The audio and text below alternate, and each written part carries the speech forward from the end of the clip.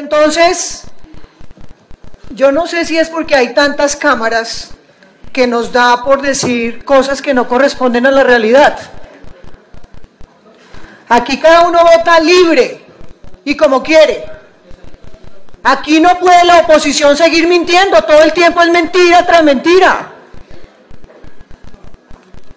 Aquí los y votamos diferente, respétenos que votemos diferente. Ustedes tuvieron mayoría mucho tiempo. Y nadie los estuvo acusando, ni demandando, ni calumniando, ni sacando carteles. Se va llenando la copa de verdad, presidente. Mi voto, los cuatro años y medio que llevo en el Consejo de Bogotá, siempre han sido libres. Entonces un llamado al respeto a los que votamos diferente, porque es que siempre es la oposición la que nos está catalogando. Aquí a quién, a quién están amarrando, a quién están coartando para que vote de una u otra manera.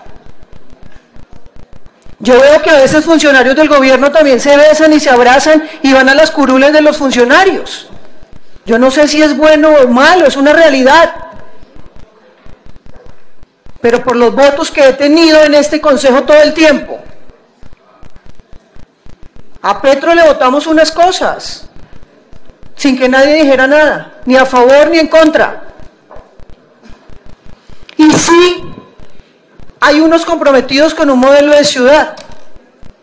A veces perdemos y a veces ganamos, esa es la democracia.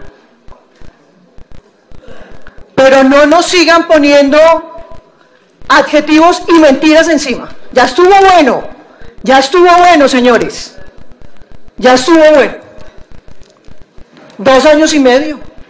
Entonces yo les pido, presidente, respeto por los que pensamos diferente. Respeto por los que pensamos diferente. Es que las garantías no pueden ser para la oposición que a veces le da por no cumplir reglas. Si ponen cinco minutos, entonces la oposición para que tenga garantías tiene que hablar el doble.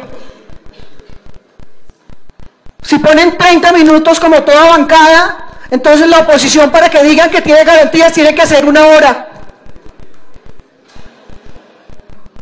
Yo les pido, yo les pido respeto, respeto. A mí nadie me obliga a votar nada. Ni estoy en mermelada ni necesito mermelada. Yo tengo criterio. Y yo he estudiado esta ciudad, sí señor. Y yo he estudiado esta ciudad. Y me la he caminado.